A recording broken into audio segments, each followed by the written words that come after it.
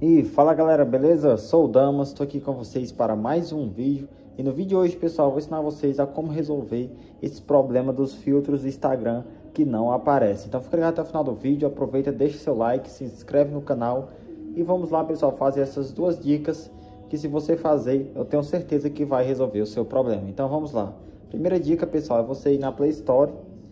E na Play Store você vai pesquisar aqui pessoal por Instagram então vou pesquisar aqui por Instagram na Play Store, vou selecionar aqui o aplicativo e aqui pessoal é para me conferir se ele está na versão mais recente. Caso ele não esteja, pode apresentar esse bug, então você atualiza o aplicativo.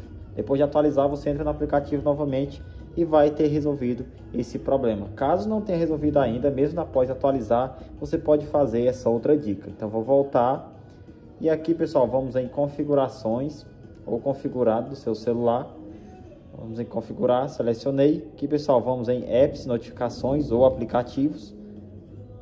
E aqui, pessoal, vamos em ver todos os apps e vamos procurar por Instagram. Então, você pode descer aqui que é em ordem alfabética, que vai estar na letra I, o aplicativo do Instagram. Vamos descer aqui, tá aqui, pessoal, Instagram. Vou selecioná-lo. Selecionei o Instagram. Aqui, pessoal, vou em armazenamento e cache. E aqui e armazenamento em cache, pessoal, vou limpar cache. Aí você limpa a cache e vai no aplicativo do Instagram. Caso ainda não esteja resolvido o seu problema, né? Você não conseguiu resolver, você vai limpar armazenamento. Lembrando, pessoal, que limpar armazenamento ele vai desconectar aí do seu Instagram. Então é importante aí que você saiba a sua senha, caso que não, você vai ter que recuperar para poder ter acesso à sua conta.